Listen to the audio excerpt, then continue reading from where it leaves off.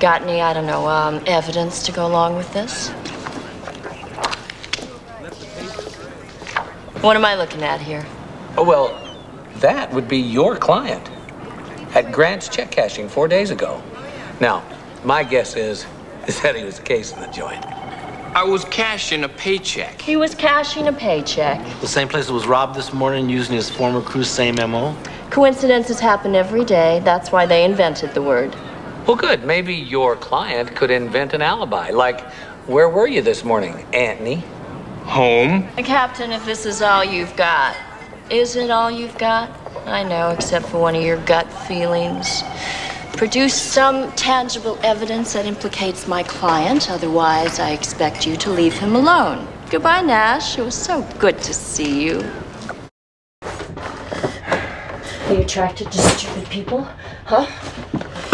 Because I'm pretty stupid. Zora? No! Calm down, please.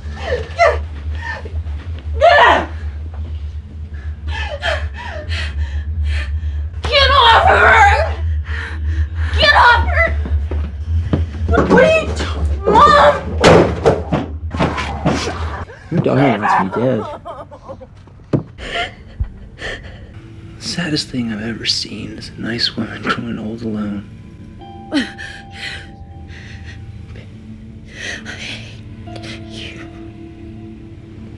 Actually, it's kind of pathetic.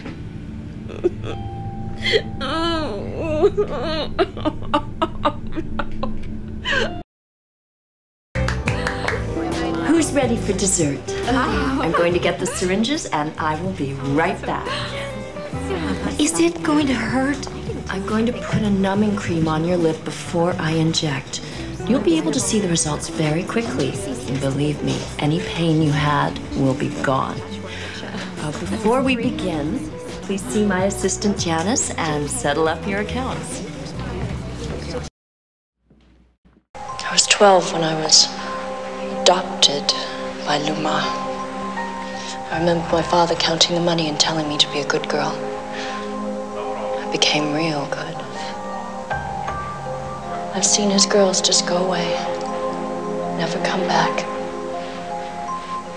I learned everything I could the business, all the players, where the money was, everything. Seven o'clock?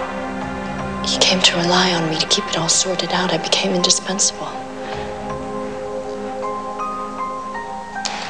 But that is not what frightens you. You're right. It's this new deal. Structure is brilliant. Goods move through seven countries, change transport methods ten times. Minimum personnel information totally compartmentalized, foolproof. Only person he has to worry about is the one who knows how it all works. Me. Here you go. Thank you. Now, uh, listen, I have a friend of mine over at the Grace Center here in San Francisco, and I'm going to send you over there. Her name's Susie. I really don't deserve this. Yes, you do. Of course you do. I'm going to help you, and you're going to help me. Do you know where I can find Jeremiah Fong? Portsmouth Square. He's meeting someone there at 3 o'clock. All right. You tell Susie that Nash sent you, all right?